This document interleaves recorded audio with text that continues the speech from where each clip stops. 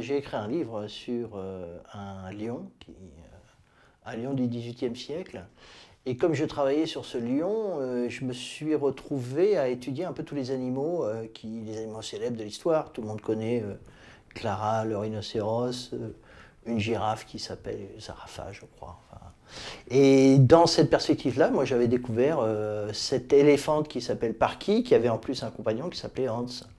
Et c'est parti comme ça, c'est parti sur cette rencontre avec des animaux à qui on a donné un, nom, à qui on a donné un prénom, et qui donc sortent un peu de la catégorie simplement de l'animal euh, espèce pour être un animal vivant avec une personnalité, si on peut dire. La question, évidemment, c'est de savoir euh, pourquoi, pourquoi raconter cette histoire-là en particulier, qu'est-ce qu'elle a de, passionnant? Euh, par qui? C'est d'abord l'histoire d'un éléphant qui arrive en Europe à un moment très très particulier de l'histoire des animaux euh, plus ou moins domestiqués dans les, dans, les, dans, les, dans les parcs, dans les zoos, etc.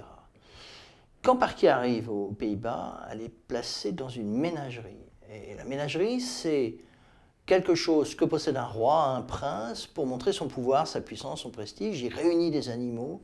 Et Parky, à ce moment-là, sert de, de jouet vivant et de, dans une collection de, Il a des coquillages, il a des plantes, il a des animaux. Le prince qui possède tout ça. Quand Parky est déplacé à la suite de problèmes historiques qui sont racontés dans le livre, euh, déplacé des Pays-Bas vers la France, l'animal devient une propriété nationale, le muséum national, et donc là on est passé à un zoo, c'est-à-dire à quelque chose qui monte des animaux pour instruire les enfants, les petits et les grands, qui vont voir les animaux au zoo, et à ce moment-là, par qui devient un animal un objet de savoir, et c'est pas du tout la même chose. Quoi. Ça, c'est la première chose. La deuxième chose qu'on peut dire sur Parky qui est absolument fascinante, c'est qu'évidemment, c'est un animal euh, qui fait partie de la mondialisation. Il y a déjà une très forte mondialisation au XVIIe siècle. Et par exemple, les gens qui capturent euh, Parky et qui achètent Parky à Ceylan pour le ramener aux Pays-Bas, c'est une entreprise internationale VOC, qui est une grosse entreprise hollandaise qui ramène l'animal pour faire un cadeau d'entreprise à euh, un prince. Et donc, ça veut dire que l'éléphant s'est déplacé en fonction de la mondialisation. Et puis, euh, pareil, hein, il se déplace des Pays-Bas à Paris pour les mêmes raisons. Donc ça, ça fait euh, la deuxième chose absolument fascinante. La troisième, évidemment, c'est qu'il faut penser que c'est un animal qui naît vers 1784 ou à peu près, et qui donc traverse une période de l'histoire de l'Europe, la Révolution française, euh, le consulat, le directoire, l'Empire. Et donc c'est un animal qui traverse comme ça des époques historiques et qui naît dans un, qui naît euh, dans un pays, qui grandit dans un monde qui n'est pas le sien et qui meurt dans un monde qui est encore euh, bien différent. Et ça permet donc à travers un animal, ça permet de raconter un petit peu l'histoire de l'Europe et l'histoire des rapports entre nous et des animaux. Quand j'étais petit, euh, j'ai grandi dans une ville, Tours, dans le jardin du Beaux-Arts de cette ville, il y, avait, un éléphant empaillé.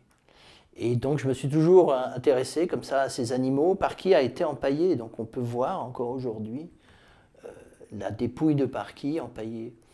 Et hum, si je raconte des histoires d'animaux, je les raconte pour je les raconte d'abord à l'enfant que j'étais, euh, et je les raconte aussi à l'adulte que je suis.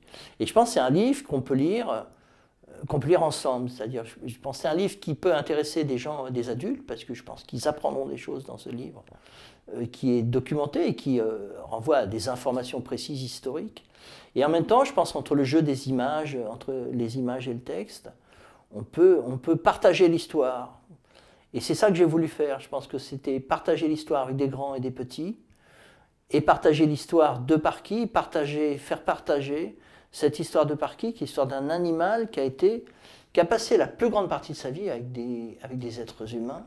Ce pourquoi, évidemment, euh, l'histoire l'a amené là. Hein. C'est pas, euh, c'est très particulier comme situation.